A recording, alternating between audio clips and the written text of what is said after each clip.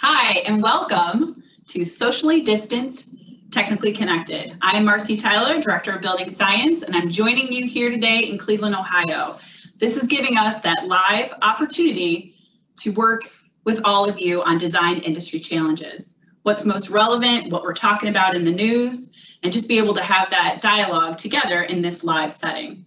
What's great is I'm not here alone in Cleveland. I am joined by Thanks, Marcy. I'm Paul Hoogenboom, and I'm the president of the Tremco Construction Products Group, which includes a lot of companies and a lot of brands all over the world. Yes, we definitely represent a lot of different companies um, right here in this room. What we're really excited about doing is being able to bring you this content on a regular basis.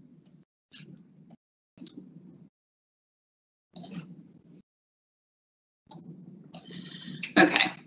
Um, Paul, the camera here, here's our slides. Okay. Far away, Marcy.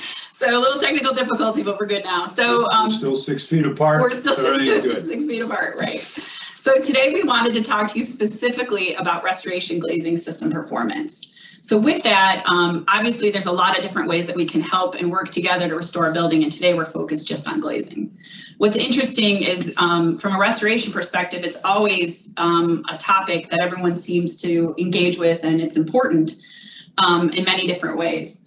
Um, it was uh, relevant even this morning as I looked at one of our industry partners, GCI Consulting, posted um, what happens to an office building's electricity's demand when almost everyone is working or stuck at home. So what they're referring to is an article by Green Tech Media. What's interesting about this article, Paul, is it talks about energy that's being used by buildings. And so the Department of Energy has shown to us that about 40% is being used by buildings.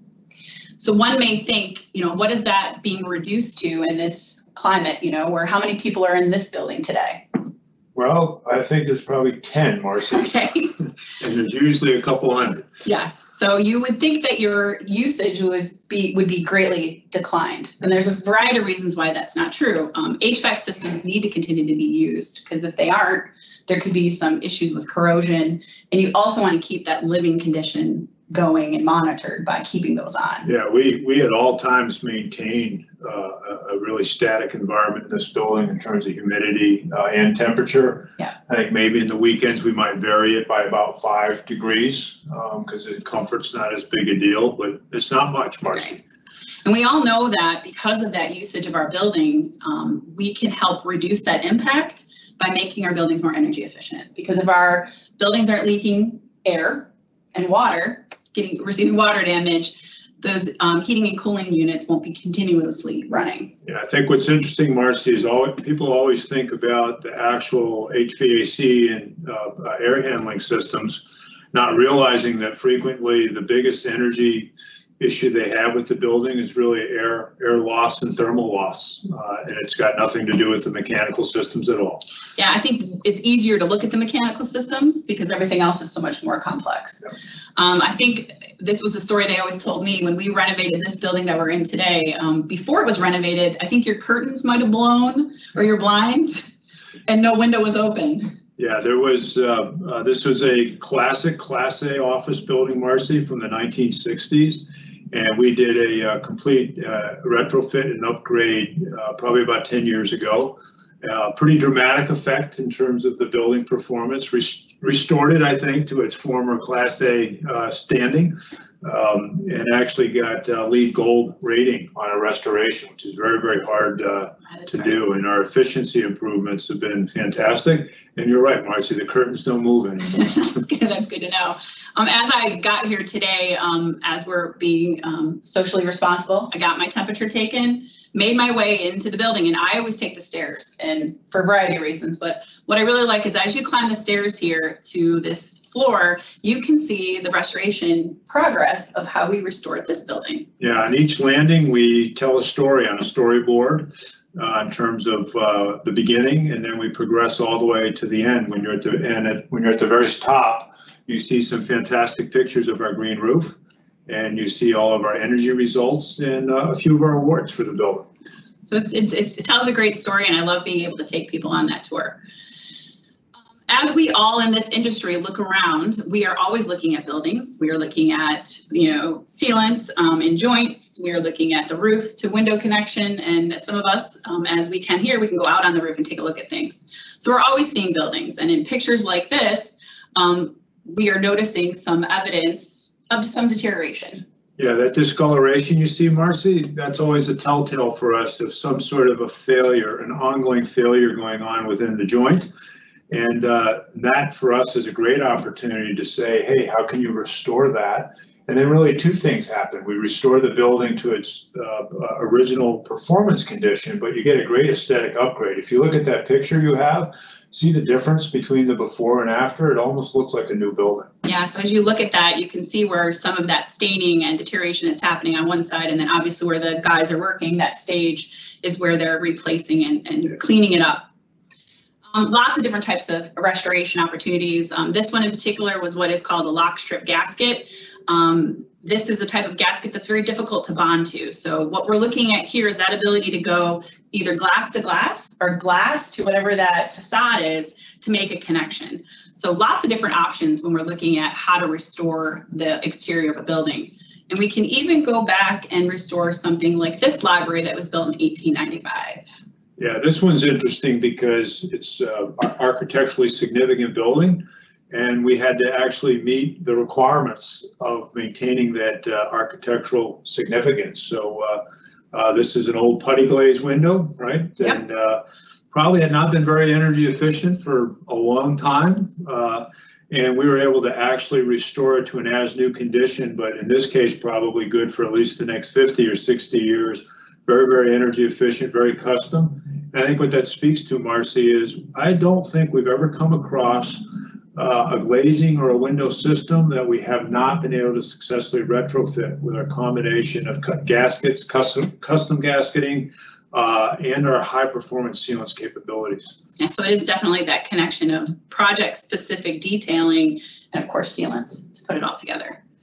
Um, as we all look around at our buildings and our structures every single day, um, we see that there's so many different types of materials, glass, different types of glass, stone, metal. Um, and what we're finding out, the industry is letting us know that that building envelope failure is, is occurring within 3% of that total enclosure.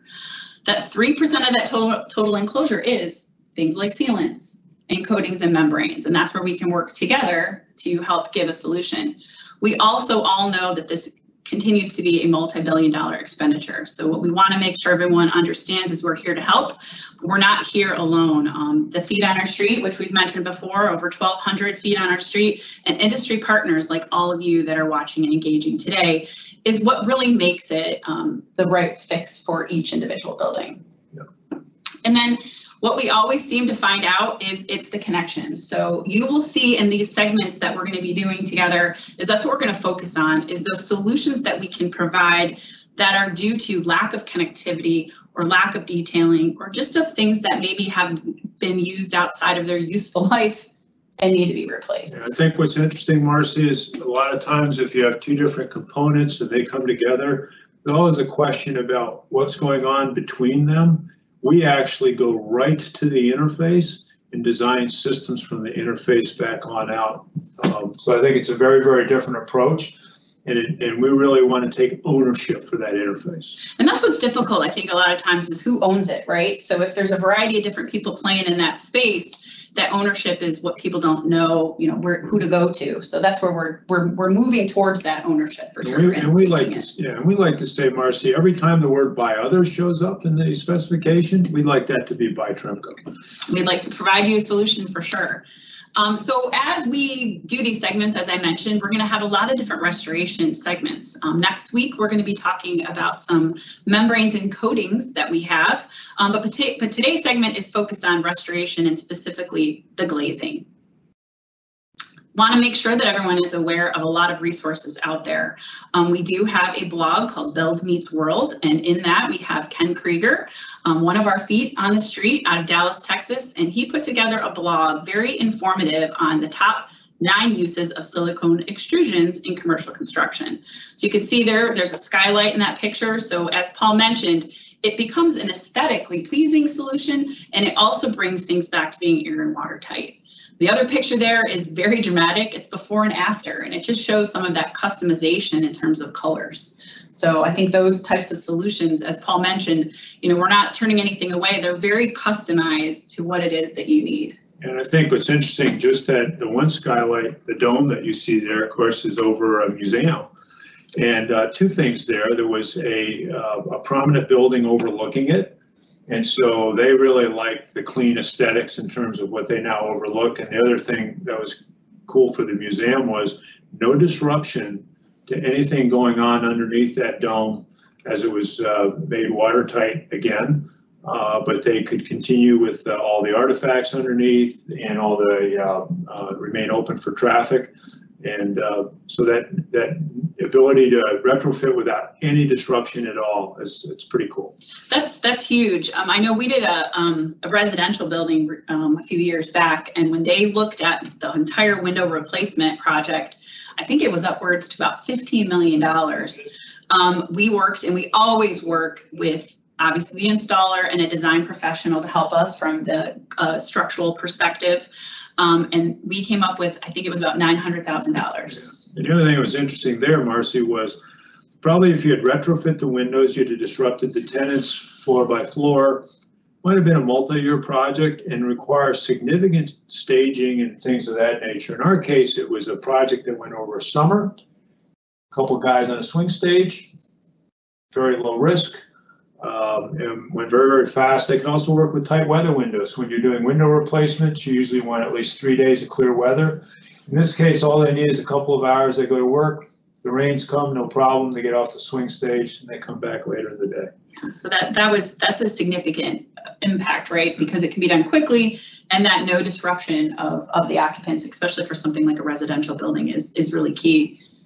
Um, We also incorporate a lot of different types of technology. Obviously, when we're customizing these solutions and working with the consultants that we have in the industry, um, we have a design engineering team that's going to look at designing that specific gasket or um, overlay design that's going to meet the needs for your project.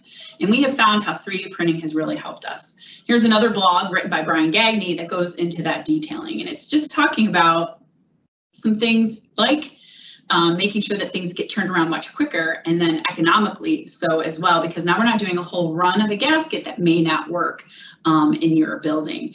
In that picture, um, that, that actually shows the gasket on the left and then the actual gasket on the right. So it just shows you how close they are. Um, and then Paul, here's just some of those 3D gaskets of the restoration overlay that we have available. So I think we have thousands of different types of dies um, that we can utilize and we can 3D print them so that it's much quicker from a turnaround time. Yeah, I think, you know, Marcy, if you go back five, seven years ago, it probably would have taken us four weeks per iteration of uh, doing the takeoff and then running a thousand feet, getting it out on the job site. And so uh, today, uh, we can turn around things uh, certainly in 24 hours. And uh, it's certainly been one of my visions that everybody on this call, even today, can buy their own 3D printing capability, uh, a low-end printer, thousand dollars or less. We can do all the engineering work, send you the file, and you can print it locally. So uh, there's no reason you can't do things same day. And uh, uh, what that allows us to do is, you know, probably in the past it might have been as much as uh, you know four iterations, four months. Today we can do all that work in a matter of a week or two um, and then make uh, restoration an immediate viable uh, uh, viable solution, right? Often, you know, when we come to a customer when their facade is leaking, they're in a lot of pain and they want answers right away. And 3D printing today allows us to be very, very viable right out of the gate. It's pretty cool. You know, when I was traveling um, in the Texas area with Blake Boone, one of our reps, that's what he started to do was engage with local printing capabilities to speed it up even that much quicker in terms of that turnaround time. So our design engineers will send out the detail, we can print it up, and then he can go right out to that job site to see how it Yeah. matches up. It's still not going to be practical, Marcy. I mean, we, if you were to ever see our uh, uh, plant where we're doing all, all our extrusions, I don't think we're going to be printing actual tens of thousands of feet um, at this point because uh, extrusion capabilities are at much, much higher speed. Um, But the ability to use 3D to make sure that we have a, uh, very, very quickly really dial into geometry is absolutely critical uh, to how we uh, solve the needs of the market. As we talk about um, some of the, uh, thi- the case studies as we continue on through this segment, we just wanted to make sure everyone's aware of our Tremco YouTube channel. Lots of great information on there, and all of the study case studies we're going to be talking about are in detail. So we mentioned um, the the project in that residential building. That is one that is listed on there. It goes into detail. Each of the the design professional that was involved, the installer, then and of course our our local um, technical rep John Bauer was on it. So all of those case studies are in there. Um, we also have a variety of different informations in terms of our manufacturing facility, which Paul um, just touched on briefly.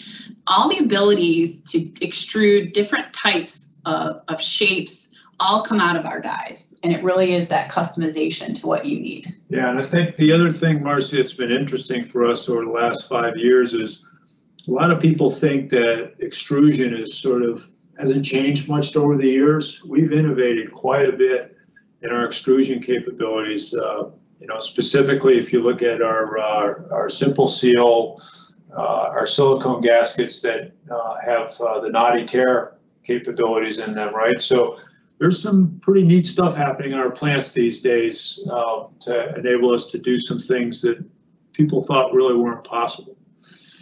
And you, he mentioned uh, Simple Seal and the naughty tear capabilities, and our ability to put notches into our profiles is something that's really amazing too. So we can customize where that notch is placed. It can go up and over mullions. It can go on inside and outside corners. So that's just one more level of that customization that's possible when we're looking at solutions for your buildings. You know, we can also uh, uh, do the uh, texture, right? So our goal is, uh, yeah, you got a great example right Yeah, here, there Marcy. go. So uh, our goal is that unless you're Marcy or I, and you're a couple feet off this building and you're not looking closely, you think it's, eh, it's all the same, right? So that ability to texture and color, um, you know, I think earlier we hit on that when we restore an interface or a joint, we always like it to be an aesthetic upgrade as well. So this is a good example. Um, I'll just keep going on for a second. You know, this, this sort of an, uh, an east surface right here, if you were to actually try to restore this normally, you'd mar the surface on either side. That's another great example of where a simple seal approach, again, gives you, without marring it, you get a nice aesthetic upgrade. Up, up and up and over instead of having to damage um, what was there. Yep. Um, another thing that we get questions on, and actually we have some questions coming in right now um, about the line of sight. So in some of these applications, we're going glass to glass up and over a mullion, um, as we showed in that um, uh, atrium area of that museum. Um, and a lot of times, that's the first question that people ask is, what does that line of sight look like? So this is from an actual project. Um, you can see some of the different types of extrusions that we have. We actually have a cruciform um, in one of those pictures. We have the whole building out, um, you know, an overall view of that building and then the line of sight. So it does not take away from that line of sight by very much. We're looking at a quarter of an inch or less, and it looks really nice because of the feet that are in these extrusions um, that are where the gasket is going to hold that sealant and apply it in just such a way so you're getting the right amount of sealant contact and it's protecting it as well as just kind of giving you a guidance for that interior sight line. Yeah, it's a really clean look, Marcy, and I think, uh, again, if you go onto the case study libraries, you're gonna see some amazing before and after pictures of, uh, you know, when people had been trying to repair for years using a wet sealant, and it looks a little messy. Yeah, it's a Um, little messy. And then you see what a cleaned up look looks like with the gasketing. It's really, it's, it's almost always a very significant aesthetic upgrade. And that's great, Paul. I'm glad you mentioned that because this is another case study that's on our YouTube channel. So you can go right into all the details involved in this specific project. There is a few projects we wanted to mention today. Um, please um, let us know, um, reach out to us if there's something um, that you see on our YouTube channel that you want us to take a deeper dive into and talk about, especially if those consultants that are involved in those projects want to come on and join us um, in one of these live broadcasts. We would love to have that opportunity too, because we'd love to hear from you and how it worked.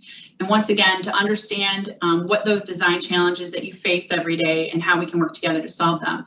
I know um, this one in particular is one of Paul's favorites that he likes to talk about. Yeah, it sure is. I, I, I remember to the day when I was approached by, it was the, uh, one of our roofing sales teams. And uh, they thought this looked like a roof to them. And in some ways it is a roof, Marcy, but of course I very quickly realized, no, this is a glazing situation. And uh, um, so of course, uh, we worked together as a team to uh, identify, you know, the right, again, glass to glass interface. Um, This is an example of a building that really leaked from the day it was built. Um, I think the design intention was good. Um, but it was really until they went to our gasket overlay capability, there was no effective way to make that fully watertight. Um, and, uh, uh, that's, uh, in Puerto Rico and it went through the recent hurricane, uh, one without a leak and two, it was a FEMA center. So it's, uh, performed very, very well. Um, and, um, you know, I think the other, you know, thing that we always like to talk about is, uh, uh, the warranty situation. Um, you know, I think we, our warranties generally for these, Marcy, right, about twenty years, uh, sometimes longer. These are very high performance, uh, silicones. I think they last way more and longer than twenty years. And we leave a lot of material behind. So, uh, they have a self-perform capability to do in-house maintenance. Yeah, so that, that whole idea of leaving the linear feet behind gives you that ability to repair if you need to in an area where you need to go back up there. So you have that extra linear feet, you can go in and very easily repair that.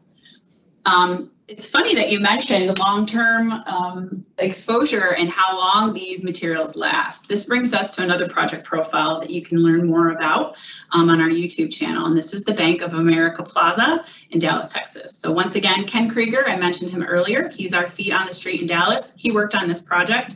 He was the one that wrote that blog about the uses of restoration overlays. Um, this particular gasket lasted 35 years. Wow. It's So- still, and it's still ticking. So they went in and they had to do some repairs and they went in and they're utilizing a variety of different people. So we, um, I was actually driving with Ken and he showed me this building and he said he reached out to Peter Poirier, who's also featured here, um, 36 years with Tremco. So it looks like he was involved right before this gasket was made. And our design engineers went up into our resources and they found the actual drawings and details that Peter and his team had put together. And that's that one picture you can see there of the actual, some of the actual notes. So it's pretty interesting how that longevity of those gaskets is still there. So working directly with the representatives from Bank of America, with Ken Krieger, with CDC, and our partner there, Brian, um, they came up with a solution that we were able to utilize. And then we went ahead and we used um, Calvin Carter and his crew in order to do the repairs. I believe if I'm quoting Brian correctly in that video, so challenge me by watching it and see if I'm right. I think you said 80 miles of gasket of our polywedge gasket is going into this building to repair it after it had lasted 35 years. Wow. So pretty incredible case study. Check it out. Um, once again, it's really interesting. And that the animation that's in that is one of those services we like to provide because we want to make sure that everyone involved on that project knows what needs to get done in the sequencing of it. And I believe Brian goes into detail, um, Brian from CDC, about how they tried a mock-up and they noticed that in the mock-up, the gasket was just a little off. So they were able to do that in the mock-up before they went obviously onto that job site. I think what's, you know, it's interesting about the thirty-five years, Marcy, a lot of times when we're sharing these case studies, it, it feels like it's new to people. And then, of course, we, we like to be able to say, we've been at this a real long time. I know we're bringing more emphasis to it now, especially as there's a whole inventory of buildings that are 25, 30, 40 years old. And people think, oh, I gotta reskin these, you know, or I have to tear off and replace. Uh, and restoration is really a fantastic option, but, you know, we've been at this for a long time. Some great case study there. Just a few more to comment on. Um, like I said, go check out our YouTube, Tremco YouTube channel for a lot more of these types of videos. Um, had to mention the West Edmonton Mall. Um, that was a great um, application of our simple seal. Um, and you can see in that picture of the square footage of, of needed repairs on that Edmonton Mall. So that is the, the largest mall in Canada. Wow. So it's significantly sized. And once again, you know, we have people like Ryan Ardeal, who is your Tremco technical rep in that region, who would go out and help you. Um, there was a variety of solutions tried prior to, um, and then they ended up with this solution. And once again, um, there's a variety of people that are always engaging and working um, on things like this. Know, we often find, Marcy, that they've been trying for years and years to try to figure out how to stop the leaks. And, uh, and I think it's not uncommon that we're often, uh, we, we do a test in a certain area because it's too good to be true. And, uh, but really that ability to go glass to glass with high performance sealants and uh, custom gasketing is, is, is uh, I don't think we've ever not been successful at solving a long-term problem. Just to further mention just things that are relevant in here today, as Paul mentioned, we have so many restoration opportunities as our buildings get older and older. Um, I read just this morning that that post from GCI that mentioned the article about energy use in our buildings. And then I noticed that Pat Garrity, one of our sales reps in the Kansas City area, posted or reshared something from another industry partner, and that's Foreman Ford, and that's Mike Car- Mike Carter, and he's talking about a project he's working on called Flash Flash Cube in Kansas City. So there's so many relevant um, projects. There's so much great information that we can find on LinkedIn, um, um, as well as you know just informational videos on YouTube and things like that. So I just wanted to make sure that we we mentioned that as well. Um, today specifically, the whole idea of a partnership in Trinity is, I think, so important. Um, the SWRI Institute, so that is the Sealant Waterproofing and Restoration Institute, has an award that they give out every year. Um, it has to include three partners to make up that Trinity. So in this case, um, we received that award um, for, it was in 2018, I believe, with High Rise Repair and BECS. So that is the Building Envelope Consultants and Scientists were involved in this project. So let's take a quick look um, at what that project was.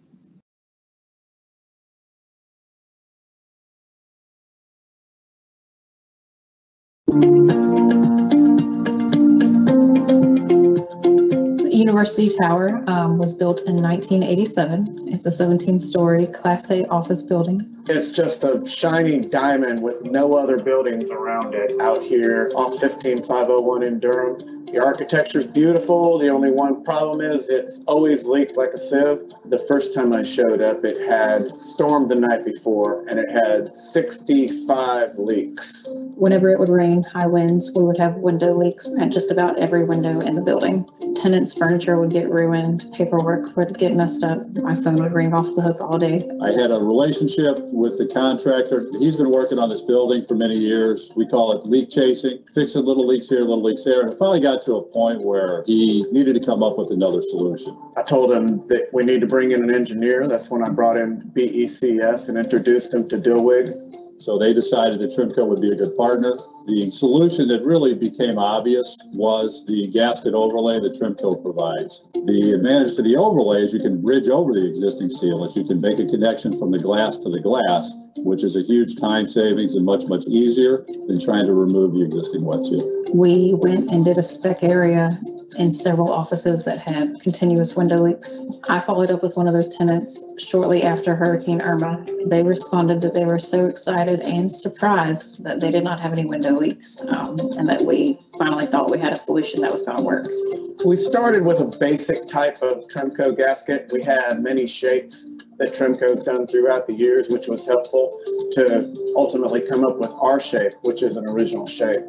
And we sent an initial sample out from a previous project, a previous uh, piece of a certain profile to the contractor, and he tried it on the wall, and we needed to make some tweaks in order to make it user-friendly for him. Part of that process was to use Okay, I wanted to stop it there um, so that we could um, just start to engage. We only have about a minute left, I think, so we're gonna put the camera back on Paul and I and answer some questions here.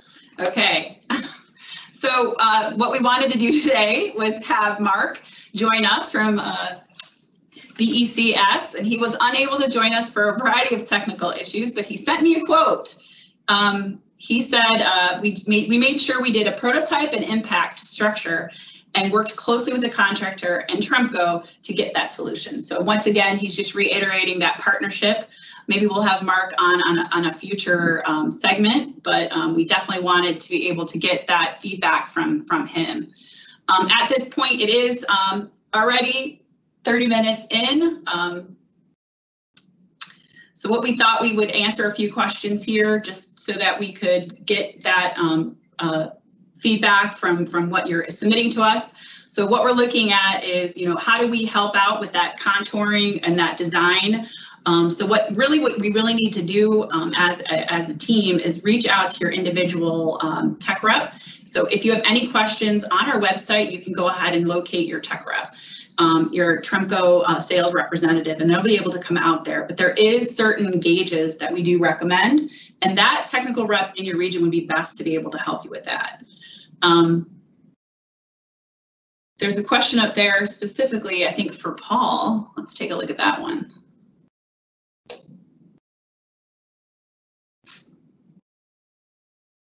It's Wayne Lloyd, Wayne Lloyd from one of our distributors. It's just commenting on what Paul said. So he said it was funny to hear Paul mentioned by others. Um, I always said 20 years ago that anything specified by others would take care of it and he would convey it to Paul about systems and solutions that we can provide as a company um, partnered with Interior Supply. Tremco and Wayne are kindred spirits. Tremco and Wayne are kindred spirits. That's probably a great way for us to end our broadcast today. Um, sorry for the technical glitches. Um, I, I have a whole different uh, respect for everyone that's on TV on a regular basis. Um, so once again, thank you everybody so much for joining us today. We're going to be doing this weekly, so and we'll be answering all your questions outside of this setting. So we will be getting back to you. Um, join us next Friday, 3 p.m. Eastern as Tremco goes live. Thank you. Thank you.